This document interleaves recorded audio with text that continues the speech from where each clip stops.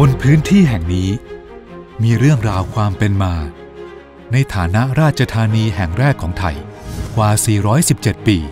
อดีตที่ยิ่งใหญ่และยาวนานทำให้ที่นี่ไม่เคยถูกลืมเลือน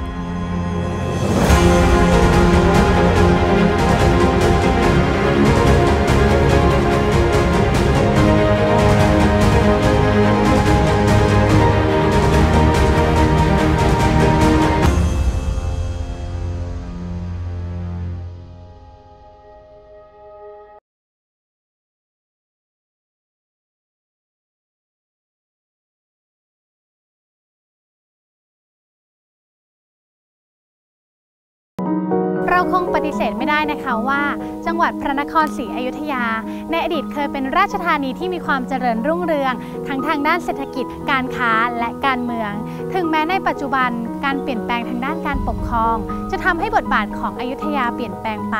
แต่ว่าจังหวัดอยุธยาแห่งนี้ ก็ยังคงมีเรื่องราวให้คนรุ่นหลังอย่างเราได้ศึกษาค้นคว้าอย่างไม่รู้จักจบสิ้นเลยล่ะค่ะ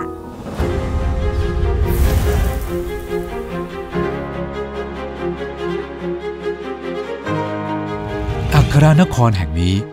สถาปนาขึ้นในพุทธศตวรรษที่ 19 บริเวณลุ่มแม่น้ำเจ้าพระยา บนพื้นที่เกาะที่มีแม่น้ำล้อมรอบ โดยมีแม่น้ำเจ้าพระยาไหลพาดผ่านทั้งด้านตะวันตกและใต้ แม่น้ำป่าสัก ไหลพาดผ่านทางด้านตะวันออก และแม่น้ำลบบุรี ไหลพาดผ่านทางด้านเหนือ ภายในเกาะเมืองและโดยรอบยังประกอบด้วยแม่น้ำลำคลองจำนวนมาก ทำให้การสัญจรส่วนใหญ่ต้องใช้เรือ ชาวตะวันตกจึงเรียกฐานที่นี่ว่าเป็นเวนิสตะวันออก ส่วนรูปทรงสันฐานของเกาะบ้างว่าคล้ายสำเภานาวา บ้างว่าคล้ายถุงยากที่ตั้งของเมืองถือเป็นชัยภูมิที่มีเอกลักษณ์เฉพาะตัว มีความอุดมสมบูรณ์ของทรัพยากร เนื่องจากอยู่ในบริเวณลุ่มต่ำของทุ่งราบแม่น้ำเพื่อต่อการเกษตรกรรม และการที่มีแม่น้ำลำคลองจำนวนมากนั้น นอกจากจะช่วยส่งเสริมเศรษฐกิจการค้า ทั้งภายในและต่างประเทศแล้ว ยังเป็นปราการอันแข็งแกร่งในการปกป้องพระนครอีกด้วย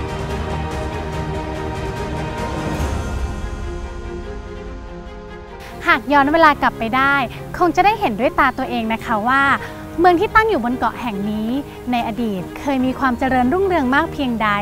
และคงจะดีไม่น้อยค่ะ ถ้ามีโอกาสได้อยู่ร่วมในเหตุการณ์สำคัญทางประวัติศาสตร์ของเมืองนี้ มีใครคิดเหมือนกันบ้างไหมคะกรุงศรีอยุธยา พัฒนาจากหมู่บ้านการค้า เป็นราชธานีที่ยิ่งใหญ่และทรงอิทธิพล ได้ด้วยปัจจัยจากภูมิศาสตร์ที่ตั้ง ความเสื่อมอำนาจทางการเมืองของเขมร และนโยบายส่งเสริมการค้าพ้นทะเลของจีน ในสมัยราชวงศ์ซ่งหลังการสถาปนาเป็นราชธานีอย่างมั่นคง ในพุทธศักราช 1893 แล้วนั้น กรุงศรีอยุธยา ได้ขยายอาณาเขตอย่างกว้างขวางและต่อเนื่อง นับแต่รัชกาลสมเด็จพระบรมราชาธิราชที่หนึ่งหรือขุนหลวงพะง่วงที่ได้ผนวกสุขโขทัยเข้าเป็นส่วนหนึ่งของอาณาจักร ต่อมาในรัชกาลสมเด็จพระบรมราชาธิราชที่สองหรือเจ้าสามพระยา ได้ขยายอาณาเขตไปทั่วทุกทิศทาง จนเกิดความสัมพันธ์ทางเครือญาติ ที่มีลักษณะเป็นทวิวงขึ้น ในรัชกาลสมเด็จพระบรมไตรโลกนาถซึ่งในรัชกาลนี้ ได้มีการจัดระบบระเบียบสังคมศักดินาใหม่ มีการส่งผ่านวัฒนธรรมจากสุขโขทัยสู่กรุงศรีอยุธยา เห็นได้จากหลักฐานทางศิลปกรรมที่เกี่ยวกับพุทธศาสนา และเมื่อมาถึงรัชกาลสมเด็จพระรามาธิบดีที่สอง เป็นช่วงเวลาที่ชาวตะวันตกอย่างโปรตุเกสเริ่มเข้ามากรุงศรีอยุธยาเป็นครั้งแรก และนับแต่นั้นเป็นต้นมา การหลั่งไหลเข้ามาของชาวตะวันตก หลายชาติ หลากภาษา ส่งผลให้กรุงศรีอยุธยา กลายเป็นเมืองที่มีความเป็นพหุสังคมพหุวัฒนธรรม ความไร้เสถียรภาพของกรุงศรีอยุธยาเริ่มต้นขึ้น เมื่อราชวงศ์ตองอูของพม่า เริ่มคุกคามตั้งแต่รัชกาลพระเจ้าตะเบงเฉวตีเรื่อยมาจนถึงพระเจ้าบุเรงนองการเสียกรุงศรีอยุธยาแก่พม่า ในพุทธศักราช 2112 ชี้ให้เห็นถึงความเปราะบาง และอ่อนแอของราชสำนักอยุธยา จนกระทั่งสมเด็จพระนเรศวรมหาราชได้กอบกู้บ้านเมือง ผสานความแตกแยก และสร้างเอกภาพทางการเมืองอย่างมั่นคง ให้กรุงศรีอยุธยาอีกครั้ง สมเด็จพระนารายมหาราช พระองค์ใช้ชาวต่างชาติชำนาญการด้านต่างๆ ในราชสำนัก และยังให้ความสำคัญกับการดำเนินความสัมพันธ์ทางการทูตการค้าโดยเฉพาะกับฝรั่งเศส ในรัชกาลนี้มีความเป็นพหูสังคมพหูวัฒนธรรมอย่างเด่นชัด อีกทั้งเป็นช่วงเวลาที่มีความเจริญทางด้านวรรณศิลป์ เป็นสังคมที่มีขันติธรรมทางศาสนากอบด้วยผู้คนหลากเชื้อชาติ มีชุมชนต่างชาติ ทั้งในและนอกเกาะเมือง ที่ได้รับพระบรมราชานุญาตให้ตั้งถิ่นฐาน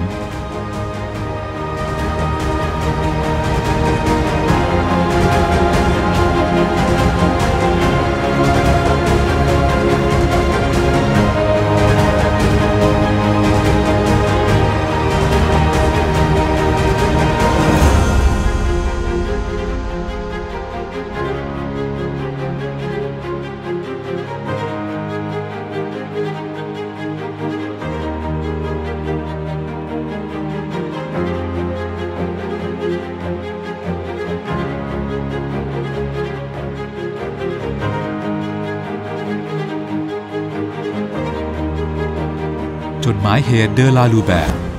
ได้สะท้อนให้เห็นภาพการดำเนินชีวิตของชาวต่างชาติ อย่างเป็นปกติสุขไว้ว่า ชาวต่างด้าวในพระนครศรีอยุธยา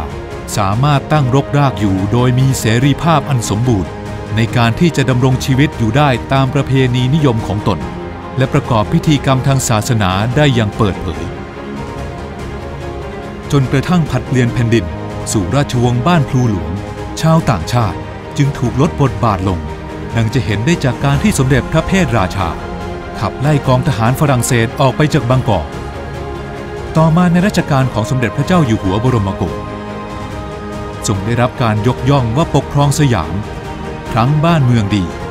มีการส่งเสริมทางด้านศาสนาครั้งใหญ่ และมีความรุ่งเรืองทางด้านวรรณศิลป์ เมื่อมาถึงรัชสมัยของสมเด็จพระเจ้าอุทุมพรความอ่อนแอทางด้านการเมืองการปกครองของกรุงศรีอยุธยา เริ่มปรากฏให้เห็นเขาลางของเหตุร้ายชัดเจนขึ้น ในสมัยสมเด็จพระเอกาทศรส ความช่อฉนไร้ประสิทธิภาพทางการเมือง ได้เปิดช่องให้กองทัพพม่า ยกทัพมาล้อมกรุง ท้ายสุด กรุงศรีอยุธยาจึงถึงการล่มสลายลงในวันที่ 7 เมษายน พุทธศักราช 2310 117 ปี ที่กรุงศรีอยุธยาเจริญรุ่งเรือง ไม่เพียงแต่ด้านการเมืองเศรษฐกิจและการค้า แต่ว่าด้านศาสนาและวัฒนธรรม ก็ยังคงทะยานขึ้นถึงจุดสูงสุดของความเจริญนั้นด้วยค่ะ ซึ่งปรากฏหลักฐานให้เห็นในด้าน โบราณสถาน โบราณวัตถุ ซึ่งยังคงหลงเหลือให้เราได้เห็นในปัจจุบันค่ะ กล่าวกันว่า กรุงศรีอยุธยาเป็นสังคมที่ให้ความสำคัญและศรัทธามั่นต่อพระพุทธศาสนา ทั้งในเกาะเมืองและบริเวณรายรอบ มีวัดตั้งอยู่อย่างมากมาย มีวัดสำคัญคือ วัดมหาธาตุและวัดพระศรีสันเพชร ที่สมเด็จพระบรมไตรโลกนาถทรงอุทิศให้เป็นวัดในพระบรมมหาราชวัง ในพุทธศักราช 1991 นอกจากวัดในพระพุทธศาสนาแล้ว ยังพบศาสนสถานของศาสนาอื่น ๆ ดังเช่น เทวสถานและโบสถ์คริสต์ ซึ่งตั้งอยู่กลมกลืนกันโดยทั่วไป แสดงให้เห็นถึงการไม่แบ่งแยกศาสนาในสังคมของกรุงศรีอยุธยา นอกจากวัดจำนวนมาก ที่สะท้อนให้เห็นถึงความสำคัญของพระพุทธศาสนาในกรุงศรีอยุธยาแล้ว ยังมีสิ่งที่เป็นหลักของพระนคร อันสัมพันธ์กับพระพุทธศาสนาคือ พระมหาธาตุพระมหาเจดีย์และพระมหาพุทธปฏิมากร ดังนี้ พระมหาธาตุที่เป็นหลักกรุงศรีอยุธยาห้าองค์ พระมหาธาตุวัดพระราม พระมหาธาตุวัดมหาธาตุ วัดราชบูรณะ พระมหาธาตุวัดสมณโกฏพระมหาธาตุวัดพุทธไทยสวรรค์ พระมหาเจดีย์ฐานที่เป็นหลักกรุงศรีอยุธยาห้าองค์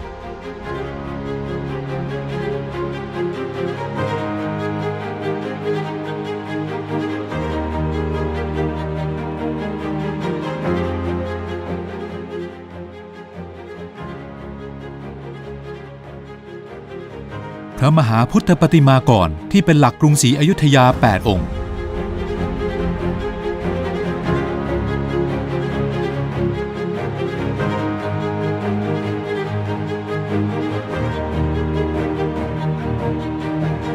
ที่อยุธยาแห่งนี้ไม่ได้มีแค่วัดที่เป็นศูนย์กลางความศักดิ์สิทธิ์เท่านั้น แต่ยังมีพระราชวังหลวงหรือวังหลวง อันเป็นที่ประทับของพระมหากษัตริย์ พระราชวังบวรสถานมงคล หรือ วังหน้า พระราชฐานของพระมหาอุปราช และพระราชวังบวรสถานพิมุขหรือ วังหลัง พระราชวังหลวง สมเด็จพระรามาธิบดีที่หนึ่งสร้างอยู่ที่ดอนในเกาะเมืองกลาง ด้านยาวทางทิศเหนือค่อนไปทางตะวันตก มีกำแพงล้อมรอบ ทรงสร้างปราสาทสามองค์คือ ระที่นั่งไพฑูรย์มหาปราสาทพระที่นั่งไพชยนมหาปราสาทและพระที่นั่งไอสวรรค์มหาปราสาทหลังจากนั้น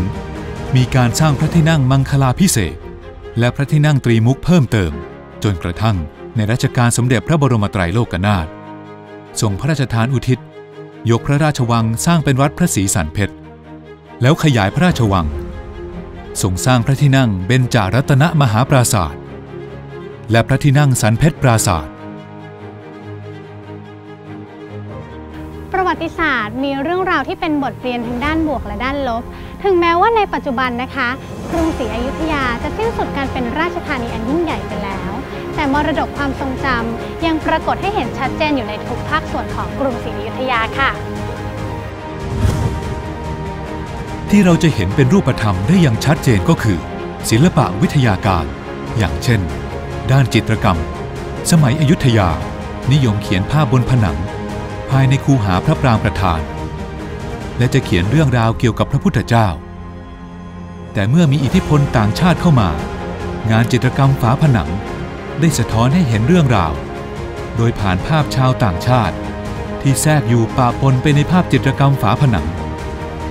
ด้านสถาปัตยกรรม ในช่วงต้นกรุงศรีอยุธยา ได้รับอิทธิพลจากเขมร คือมีการสร้างกลางเป็นประธานของศาสนสถาน เช่น วัดพระราม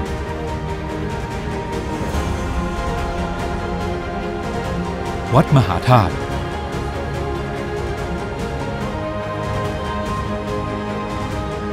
นับแต่รัชกาลสมเด็จพระบรมไตรโลกนาถเป็นต้นมา กรุงศรีอยุธยา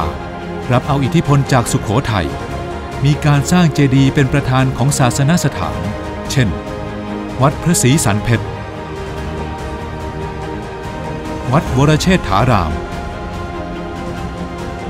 วัดใหญ่ชัยมงคล และในรัชกาลสมเด็จพระเจ้าปราสาททอง มีการรับเอาอิทธิพลจากเขมร ดังเช่น วัดชัยวัฒนาราม นอกจากนี้ยังมีการปรับรูปแบบสถาปัตยกรรม ให้เป็นแบบของอยุธยาเอง คือการสร้างเจดีย์ย่อมุม เช่น เจดีย์พระศรีสุริโยไทย ในรัชกาลของสมเด็จพระนารายมหาราช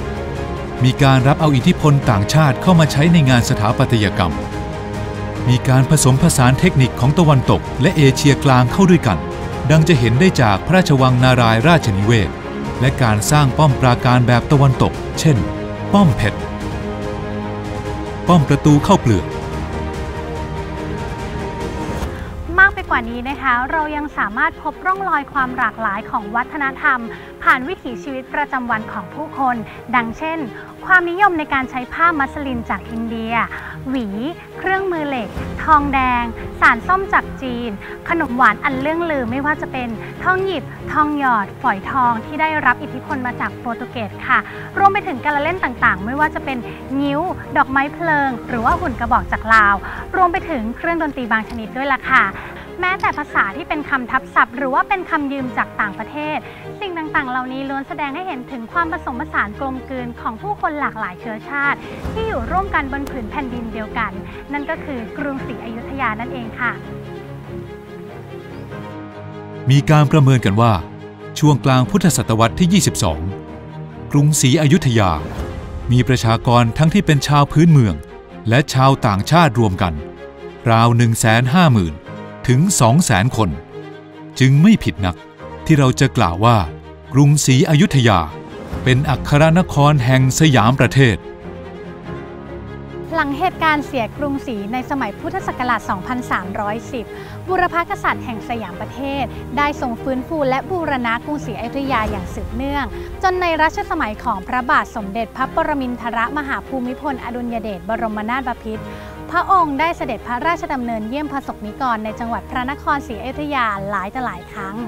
และทรงมีพระราชดำริเกี่ยวกับการพัฒนาในด้านต่างๆ จนเกิดโครงการในพระราชดำริเกิดขึ้นมากมาย และหนึ่งในนั้นคือโครงการพัฒนาพื้นที่ทุ่งมะขามหย่องค่ะ ในการนี้พระบาทสมเด็จพระปรมินทรมหาภูมิพลอดุลยเดชบรมนาถบพิตรทรงเล็งเห็นว่า จังหวัดพระนครศรีอยุธยา ประสบปัญหาอุทกภัยอยู่บ่อยครั้ง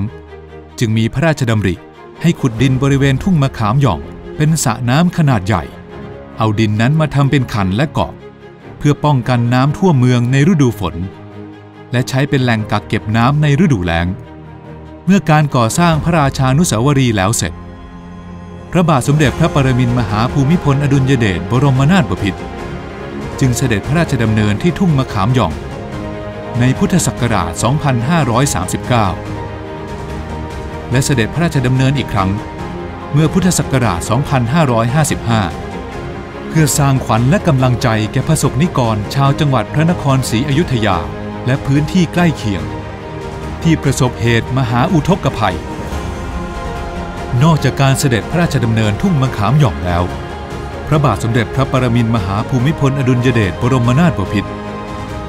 ยังมีพระมหากรุณาธิคุณต่อพระสกนิกรชาวไทย ในด้านการอนุรักษ์มรดกทางวัฒนธรรมครั้งสำคัญ โดยเสด็จพระราชดำเนินมาเปิดพิพิธภัณฑ์สถานแห่งชาติเจ้าสามพระยา ซึ่งเป็นพิพิธภัณฑ์แห่งแรกในพระราชดำริของพระองค์ เมื่อวันที่ 26 ธันวาคม พุทธศักราช 2504 พระองค์ทรงมีพระราชดำรัสความตอนหนึ่งว่า การสร้างอาคารสมัยนี้ คงจะเป็นเกียรติสำหรับผู้สร้างคนเดียว แต่เรื่องโบราณสถานนั้น เป็นเกียรติของชาติ อิฐเก่าๆแผ่นเดียวก็มีค่า ควรจะรักษาไว้ ถ้าเราขาดสุขโขทัยอยุธยาและกรุงเทพแล้ว ประเทศไทยก็ไม่มีความหมาย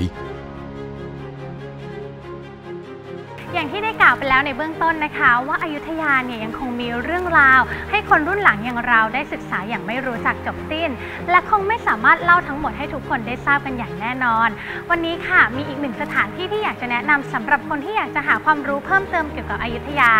นั่นก็คือศูนย์ศึกษาประวัติศาสตร์อยุธยาค่ะ ศูนย์ศึกษาประวัติศาสตร์อยุธยา จัดตั้งขึ้นในพุทธศักราช 2529 โดยได้รับการสนับสนุนด้านงบประมาณจากรัฐบาลญี่ปุ่น เพื่อเฉลิมพระเกียรติในวโรกาสที่พระบาทสมเด็จพระปรมินทรมหาภูมิพลอดุลยเดชบรมนาถบพิตรทรงเจริญพระชนมพรรษาครบ 60 พรรษา และเพื่อเป็นที่ระลึกเนื่องในโอกาสครบรอบ 100 ปี แห่งความสัมพันธ์ไทยญี่ปุ่น ศูนย์ศึกษาประวัติศาสตร์อยุธยา เป็นทั้งสถาบันวิจัย พิพิธภัณฑ์เกี่ยวกับกรุงศรีอยุธยา เป็นศูนย์ข้อมูล และห้องสมุดประวัติศาสตร์ มีอาคารจัดแสดงสองแห่ง คือที่ศูนย์แห่งนี้ และส่วนผนวกที่ตั้งขึ้นใหม่ ซึ่งอยู่บริเวณหมู่บ้านญี่ปุ่น ภายในศูนย์ มีการจัดแสดงนิทรรศการถาวรใน 5 หัวข้อคืออยุธยาในฐานะราชธานีอยุธยาในฐานะเมืองท่า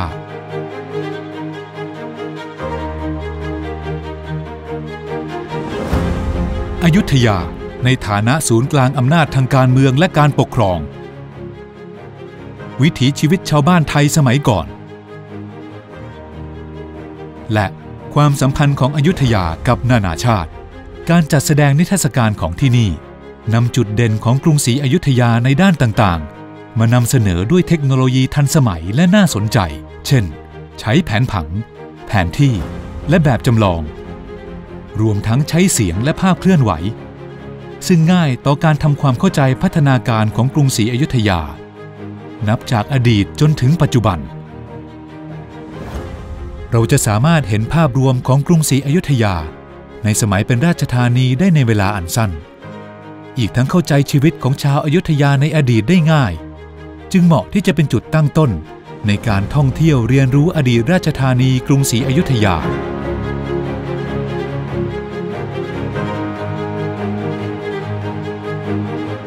ที่น่าสนใจคือ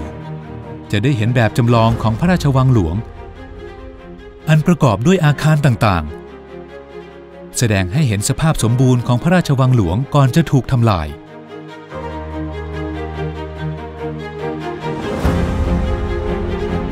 แผนที่แสดงเส้นทางการค้าทางทะเล ระหว่างอายุทยากับนานาชาติ แบบจำลองภายในวิหารพระศรีสันเพชร เรือสำเภาจำลอง รวมไปถึงการจำลองสภาพหมู่บ้านชุมชนริมน้ำและวิถีชีวิตผู้คนให้ชมอีกด้วย